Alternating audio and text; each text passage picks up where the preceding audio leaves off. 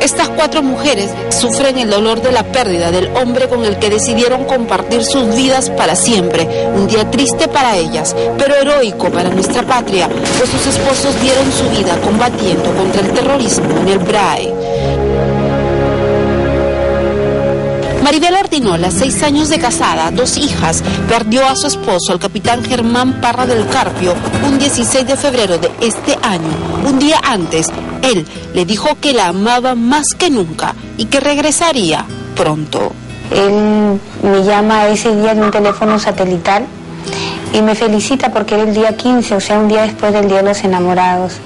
Y yo le digo, amor, te has olvidado de llamarme ayer, ayer el Día de los Enamorados, o será que ya no estás enamorado de mí, le digo.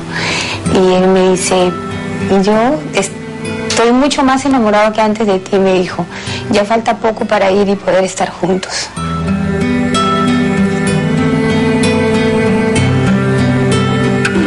Elizabeth Ramos Gutiérrez tenía 25 años de casada, cuatro hijos, un hogar feliz, hasta que un 12 de diciembre del 2011, al llegar a su casa, se encontró con las lágrimas de sus hijos, que le decían que su esposo, el técnico de segunda, Leoncio Mendoza, no regresaría más. Antes todo lo hacíamos juntos, ahora digo, pues no, tengo que ser padre y madre para mis hijos. Marianelli Zapata Camacho cumplía dos años de casada el mismo día que su esposo falleció. Tenían un hijo, una familia feliz de tres, como ella la llamaba, pero un 21 de noviembre una llamada telefónica trajo abajo sus proyectos y sueños. Su esposo, el teniente Roberto Obregón Ángeles, había muerto luchando.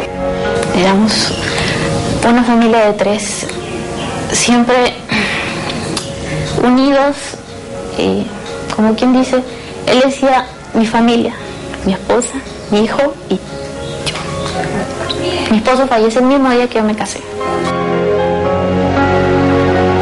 Miriam Quispe, ocho años de casada, dos hijos, habló con su esposo, el capitán Jenner Alberto Vidarte Campos, horas antes de recibir la noticia de su muerte en una emboscada en Braille. Yo hablé el mismo día que falleció a las dos de la tarde, me llamó y me dijo que ya lo iban a replegar durante, durante la tarde y fue la última vez que escuché su voz, me dijo que me iba a llamar llegando al BRAE, llegando a Pichari, y sigo hasta ahora esperando su llamada, nunca más volví a escuchar su voz. Ellas ahora son padre y madre para sus hijos y han sido capaces de dejar el dolor esperando para tomar el valor y la fuerza de sus compañeros ausentes. Hasta ahora todavía la herida está muy reciente, pero yo estoy optando ese heroísmo y esa valentía que tuvo mi esposo para, para defender un país y yo estoy adoptando esa valentía para sacar adelante a mis hijas. Esa ha sido nuestra meta de los dos. Y bueno, pues a mí me toca ahora, ¿no? En el momento en que te dicen tu esposo está muerto, es algo en el que ¡pum! todo el mundo se te cae. Claro, pero como tengo, por mi hijo uno se levanta.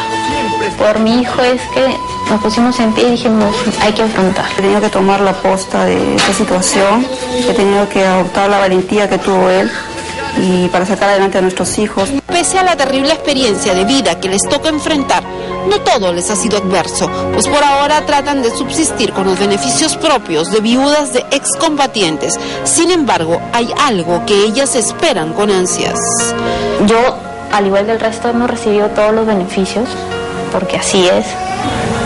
Que como dicen es un héroe, pero estamos esperando que sea pues concretada la, las palabras del presidente, ¿no? Porque dijo héroe de la pacificación.